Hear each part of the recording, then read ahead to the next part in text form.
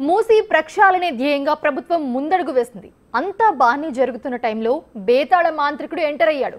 పేదల భుజంపై తుపాకీ పెట్టి అలజడి సృష్టిస్తూ ఉన్నాడు. ఇంతకీ పేదలను రెచ్చగొడుతున్నది ఎవరు? దేనికోసం ఇదంతా? ఫామ్ హౌస్లకు కాపాడుకునేందుకు బడాబాబులు వేసిన స్కెచ్ ఏంటి? మీరే చూడండి. స్పీడ్గా మూసి ప్రక్షాళన సర్వే. కబ్జాకోర్ల గుండెల్లో మొదలైన అలజడి. పెద్దల ఫామ్ హౌస్ల రక్షణ కోసం పేదల భుజంపై తుపాకీ. మళ్ళీ తెరపైకి బేతాల మాంత్రికుడు. మూసీ ప్రాజెక్టును అడ్డుకునేందుకు భారీ స్కెచ్. అది పంతొమ్మిది వందల ఎనిమిది సెప్టెంబర్ ఇరవై ఏడు ఇరవై ఎనిమిది. దాదాపు నాలుగు వందల యాభై ఏళ్ళ చరిత్ర కలిగిన హైదరాబాద్ చరిత్రలో ఇదో చీకటి అధ్యాయం. అప్పటి వరకు పెర్ల్ సిటీగా ముగిసిపోయిన హైదరాబాద్ ఊహించని జలప్రలయంతో విలవిలలాడింది. రెండు రోజుల మూసి ఉగ్రరూపానికి ఏకంగా పదిహేను వేల మంది ప్రాణాలు పోగా యాభై వేల మంది నిరాశ్రయులయ్యారు. మనం ఈ రోజు నిరంకుశ నిజాం అని తిట్టిపోసి నాటి రాజు సైతం చలించిపోయి కార్యాచరణ ప్రకటించారు. వరద బారి నుండి నగరాన్ని కాపాడేందుకు మోక్షగుండం విశ్వేశ్వరయ్య లాంటి ప్రముఖ ఇంజనీర్లకు బాధ్యతలు అప్పగించారు. ఆయన సూచనల మేరకు అనేక రంగాల నిపుణులతో హిమాయత్ సాగర్ ఉస్మాన్ సాగర్ అని రెండు చెరువులు నిర్మించి మూసీని ప్రక్షాళన చేసి జాగ్రత్తలు తీసుకున్నారు.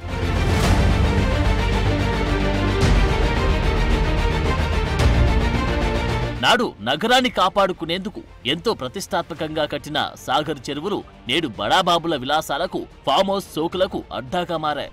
దీంతో మూసి మళ్ళీ మోసుకుపోయింది. ఇదే పరిస్థితి ఉంటే నగరం మళ్ళీ ఏదో ఒక రోజు పంతొమ్మిది వందల ఎనిమిది నాటి విలయాన్ని చవి చూడడం ఖాయం. ఇదే ముందే గ్రహించిన సీఎం రేవంత్ రెడ్డి మూసీ ప్రక్షాళన ప్రాజెక్టు చేపట్టారు. ఈ ప్రాజెక్టు గురించి ఎవరు అడగకపోవచ్చు. కానీ నాయకుడు బాధ్యతతో వ్యవహరించాల్సిన అవసరం ఉంది. భవిష్యత్తులో తలెత్తే ప్రమాదాలను అంచనా వేసి జాగ్రత్తలు తీసుకోవడం నాయకుడికి ఉండాల్సిన లక్షణం. అందుకే మూసీ ప్రక్షాళనకు ప్రభుత్వం సిద్ధమైంది. అంతా సాఫీగా జరుగుతున్న క్రమంలో అక్కడ నిప్పు రవ్వలు రాజుకుంటున్నాయి.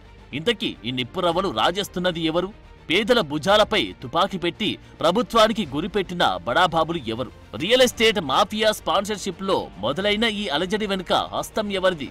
ఇంకెవరు? గడిచిన ఐదేళ్ళలో తెలంగాణ రాజకీయాల్లో బేతాల మాంత్రికుడిగా వ్యవహరించిన ఓ బడా నేత. పల్లం రాజు లాంటి కాంగ్రెస్ నేత ఫామ్ హౌస్ కూల్చివేయడం దానికి కాంగ్రెస్ హైకమాండ్ కూడా గ్రీన్ సిగ్నల్ ఇవ్వడంతో ఇక లాభం లేదని బేతాల మాంత్రికుడు రంగంలోకి దిగినట్టు రాజకీయ వర్గాల్లో ప్రచారం జరుగుతోంది. బేతాల మాంత్రికుడు వేసిన స్కెచ్ను అమలు చేసే బాధ్యత బీఆర్ఎస్ నాయకుడు హరీష్ తీసుకున్నట్లు తెలుస్తోంది. దీని ప్రచారానికి స్పాన్సర్షిప్ గడిచిన ఐదేళ్ళలో అడ్డగోలు అనుమతుల ద్వారా అడ్డగోలుగా దోచుకున్న కొన్ని రియల్ ఎస్టేట్ మాఫియా సంస్థలుగా తెలుస్తోంది. ఆలోచన బేతాల మాంత్రికుడిది ఆచరణ హరీష్ రావుది. పెట్టుబడి రియల్ ఎస్టేట్ మాఫియా సంస్థలది.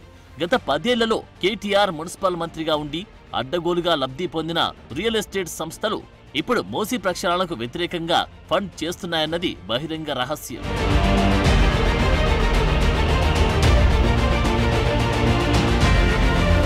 మూసీ ప్రక్షాళన చేయడంలో భాగంగా హిమాయత్ సాగర్ ఉస్మాన్ సాగర్ గర్భంలో బడాబాబులు కట్టుకున్న ఫామ్ హౌస్లు కూల్చాల్సిన పరిస్థితి ఉంది. గడిచిన ఆరు నెలలుగా ప్రభుత్వం మూసీ ప్రక్షాళనపై అవగాహన కల్పిస్తూనే ఉంది. మూసి పరివాహకంలో పేదలు మధ్యతరగతి వాళ్ళు ఉంటే వారికి పునరావాసం వారి పిల్లలకు నాణ్యమైన విద్యకు ప్రభుత్వమే గ్యారంటీ ఇచ్చింది. దీనికి వారంతా మానసికంగా సిద్ధపడుతున్న తరుణంలో బేతాల మాంత్రికుడు ఓ నిప్పు రాజేశాడు. ఈ పేదలను రెచ్చగొడితే ఉస్మాన్ సాగర్ హిమాయత్ సాగర్ గర్భంలో పెద్దల ఫామ్ హౌస్లు సేఫ్గా ఉంటాయన్న వ్యూహంలో భాగంగా ఇదంతా చేస్తున్నట్టు తెలుస్తోంది.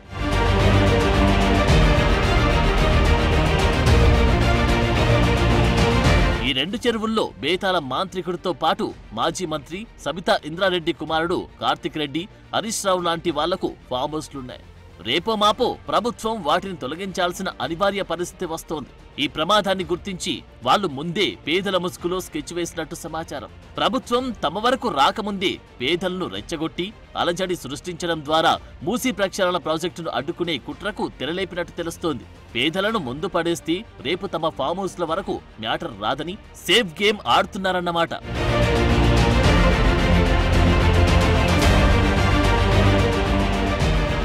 వాస్తవానికి మూసి పరివాహకంలో ఉన్న పేదలకు ప్రభుత్వం డబుల్ బెడ్రూమ్ ఇల్లు ఇవ్వడానికి సిద్ధమైంది.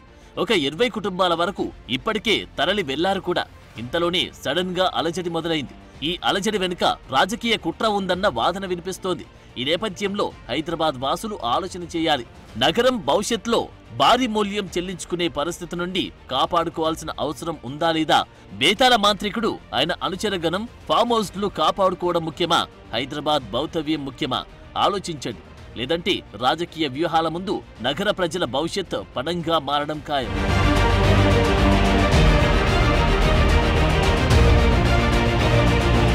ఇక ట్విస్ట్ ఏంటంటే ఈ అక్రమ కట్టడాలకు అనుమతించిన మాజీ మున్సిపల్ మంత్రి కేటీఆర్ జ్వరం నేపథ్యంలో గడప దాటకపోవడం దేనికి సంకేతం? బామ్మర్ది చేసిన తప్పులపై బావ హరీష్ రోడ్డెక్కితే బామ్మర్ది మాత్రం బెడ్ రెస్ట్లో ఎందుకున్నట్లు ప్రజలు ఆలోచన చెయ్యాలి సో నాటి పాలకుల తప్పిదాలకు ఇప్పటికే జనం బలైంది చాలు.